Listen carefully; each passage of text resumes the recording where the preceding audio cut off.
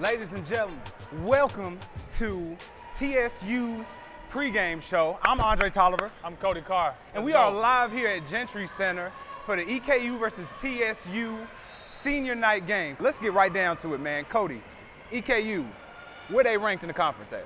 EKU it's not been the, the best year for them. You know, Uh-huh. the past couple years hasn't been the best. Um, so right now, coming into this game, they're 10-18 overall, Yeah. 3 and 10 in the conference and OVC East.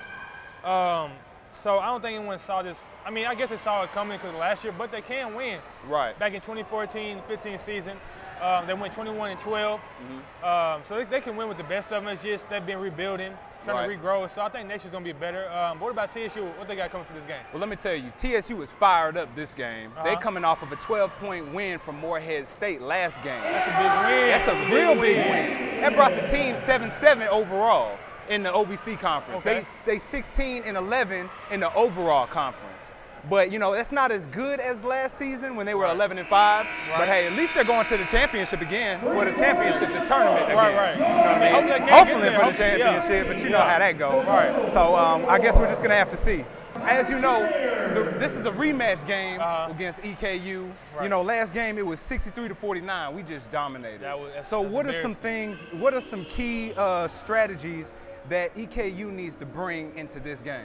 So to piggyback off what you said, um, they did lose the first game. EKU did. So I feel like they don't want to go 0 for 2 in the series. You want to go 2 for 0, at least 500. So they want to come out Yeah. swinging this game with the chip in their shoulder to beat TSU, Mm-hmm. firepower. Yeah. Um, also, they need to um, set up foul triple. They average 564 personal fouls Yeah. as a team. So, and TSU has a high free throw percentage. So you don't want to foul a free throw shooting team like TSU. You don't want to do that. Um, so in their first matchup, uh, the bench did not show up for EKU. So they're going to need to improve uh, in order to help the starters out. Uh-huh. The player off the bench, uh, DeAndre Dishman, only had one point come off the bench. The bench had 40 minutes total. So Yeah. I mean, that's that's embarrassing. They need to Yeah, do better is a in bad. support. Heck yeah. Because TSU, as you know, um, they don't come out with keys to this game too. So Well, I mean, look, I got three things. Number Uh-huh. one, TSU got to maintain momentum. right, The stats show that TSU tends to dominate overall, let's just winning the game if they're up before the half. Right. Matter of fact, they're 13 and 3 um, as far as winning goes whenever they, you know, are leading before the half. Okay. So as long as they get an early rhythm in the beginning of the game Uh-huh. and then they just maintain a strong defense, I mean, they're going to get this W. Yeah, I'm I know. I you. know a lot of teams are either that first half or second half team. Some teams have it both halves, but Uh-huh. TSU is definitely that first half team that comes out with that punch and keeps it going. Right. Let me go ahead and get to my second thing, though. Okay. you, you know, my bad Right, to kind of I- cut I you off, but. I I, am gonna go ahead and tell you my second thing. You know, as far as beasting on defense, they gotta Uh-huh. they gotta go ahead and um, get they gotta go ahead and get the offensive rebounds. Mm-hmm. You know what I mean? Like Martin, Wayne Martin, and Jordan Reed are two players that are just phenomenal when it comes to following up with their shot Right, and I've getting heard- their own rebounds right, and stuff yeah. like that. But uh, there's five players out there. There's Right. a full team of five out there, so everybody needs so to be everybody doing has that. a fundamental You know what I mean? contribute, right? So I mean, if they box out on O, they gonna steal the show. That's how I feel. Hey, and number three, Ah. boxing out, they also need to shoot smart. And in other words, choose their shots wisely. You know what I mean? They uh, momentum I was talking about earlier.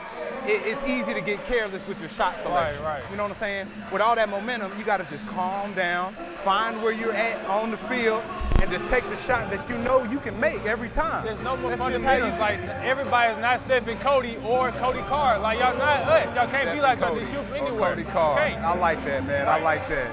Look, I actually actually had the chance to talk to Coach Ford about their strategies coming into this game. So let's go ahead and take a look at that. right, good old Ford. Yeah. Well, our first game against them was pretty successful, and we're going to have to duplicate some of those things the second time around. Uh, they've got really good inside-outside scoring. Uh, Nick Mayo is one of the best players in the conference. We're going to have to really double team him and get the ball out of his hands. And then on the perimeter, we're going to have to really contest their guards and keep them out of the paint. Well, I think our rebounding has improved this year. We're a lot better rebounding team this year in terms of numbers. And uh, also our scoring is a lot more balanced this year. Uh, here, here lately, our assist numbers are higher. So I just think overall, from top to bottom, uh, we, we've spread the ball a little bit better on the offensive end. And um, hopefully we continue to do that down the stretch. I think we need to play as a team. I mean, I, I think that needs to be our number one focus down the stretch. uh, offensively, defensively, uh, no matter what the case is. We, we need to defend as one unit, and we need to try to work together to get the best possible shot for TSU every single time.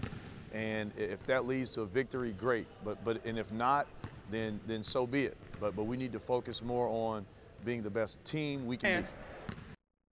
That was the man with the plan, Dana Ford. Dana you know what? I like Dana Ford because I mean he's just an inspiration to all upcoming coaches. You know, Right. he's the youngest coach in the NCAA, uh, the whole Division One program. Right. It's pretty crazy when you think about it. And, and something that is unknown about him, or he's trying to get out there, he has a program called Rebound, which I did my information on. So every time I the Tigers that. get a rebound, um, donations go to help support people in domestic violence Uh-huh. situations. So hopefully help them rebound from something that's going on. So Yeah. everybody wants to be able to go home. Hey man, that's And so yeah, That's cool. That's really Right. cool. That's that's Right. really cool. So Kody, with that being said, you know this is the rematch. uh-huh. You know what I'm saying? EKU and TSU already went head up one Right. time, and um, this is the rematch. So what are the what are the key players going into this game? Um, key players that I saw give TSU trouble last time Mm-hmm. were uh, guard Asante Gist. He had 17 points in his first matchup against the Tigers. uh Uh-huh. he was seven for, for 19 from the field and two for eight from three. Yeah. Um, so this guy's obviously a big problem. Uh, and so if the Tigers want any chance of winning, they're gonna have to you know, step up and defend this guy. And the Colonels have to get this the they're gonna have to get the ball in this guy's hands in order to win. Uh huh. Second player I was watching, uh, power forward Nick Mayo. This guy's a beast. Nick 6'9". Mayo. I've been hearing about Nick, man.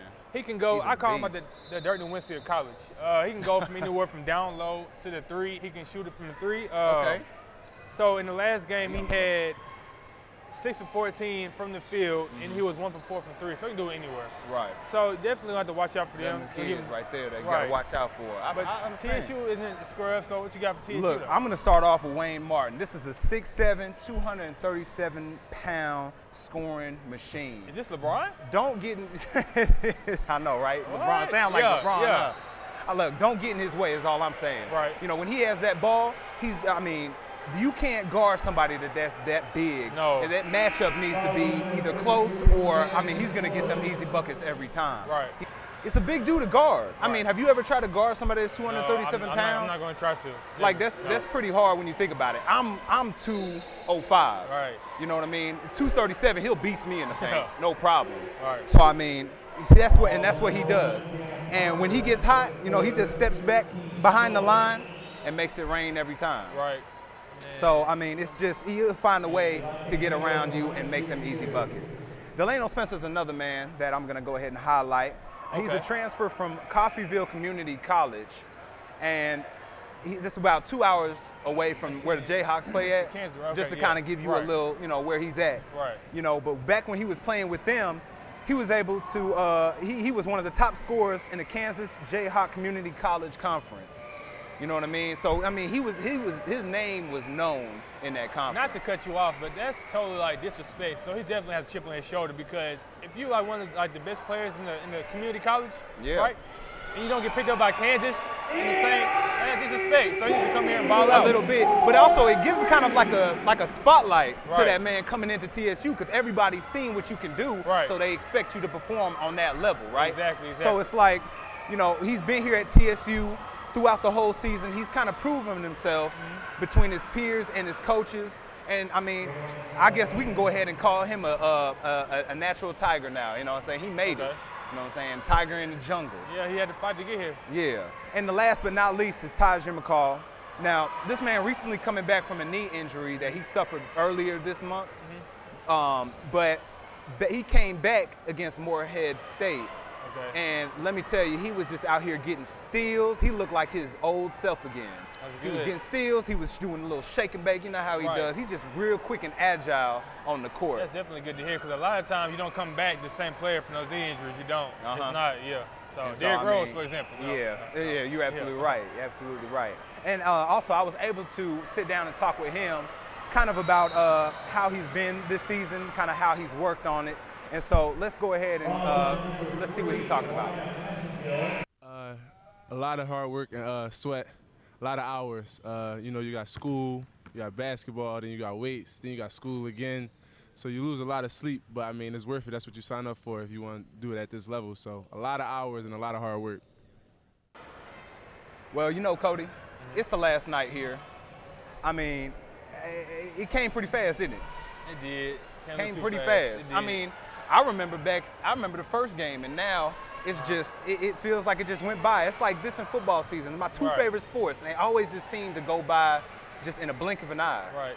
I mean, So- we got some more sports. You know, golf, tennis. I mean, they're, they're doing pretty well. So, Uh-huh. I mean, I'll, I'll definitely catch a soccer ball game Right. or Yeah, soccer. uh, we don't- I softball. don't have I didn't soccer, say soccer ball. I meant yeah. softball. My bad, man. Didn't get enough sleep last night. So uh, as um, senior night, as you know, we're celebrating senior night tonight. Mm-hmm. And um, I mean, that's quite an accomplishment being a four-year senior. You know what I mean? It's your night. It's your celebration. So I mean, that must be. That must have a. It must feel That's great. definitely amazing because you came from being a freshman to aka like a scrub Right. freshman into like a big time senior. So like you definitely can walk tall and uh, hold your head up. It's your last game. Well, not your last game, but you can finally breathe a little bit. Say, Yeah. okay, it's almost. It's definitely a journey over, when you think about it. Um, Wayne Martin Tahjere also had a couple words about senior night and how this day felt to him. So let's go ahead and take a look at that. Good look at that. It's going to mean a lot because TSU program, we, we came a long way from our first year here, and I was one of the players that helped, or one of the players that helped build like the program to be a better program that, like it is today. And it's going to mean a lot for me to play my last home game in front of the, the home crowd. So it's going to be real big. Uh, it actually means a lot because kind of had like a long journey to get here, and uh, the school has really been good to me, and the fans it increased every year since I've been here. I come in here three years ago. It's really increased and really shows how how much the school loves the program. So that was Tahjere and Wayne Martin. You know, two remarkable players on the team. You know, they're just the, both are just stars of the team, man. They really do shine. Big time players. It Oh, also yeah. helped TSU out a lot Mhm. the last couple games. So And so, you know, as this game later on goes to a close, what uh, Right. what is TSU and EKU like? Where do you see them in the postseason? So I see TSU uh, surfing into TSU the uh, into, into the tournament. TSU is swag. So okay, they're gonna hit like a little bump in the road against Belmont in their Yeah. final game. But I mean, they're gonna be AC in the tournament, so at least they made it and hopefully have a chance to you know win the tournament. yeah, As for EKU, they're not they're not gonna make the tournament this year. But I feel like next year they're gonna come out strong. You know, definitely take their mistakes from this year Uh-huh. and put them to the side. That way they'll, they'll learn for, for next year. So yeah, it's like a, whole rebuilding year for them. You know. yeah. Yeah. Okay. Well, uh, make sure you stay tuned with us. Coming up next is John Freeman. He's going to be announcing the EKU versus TSU game, so make sure you go ahead and stay tuned. This All is. Andre Toliver. This is Kody Carr. Thank y'all for watching. This is TSU. We'll see you guys next time. All right.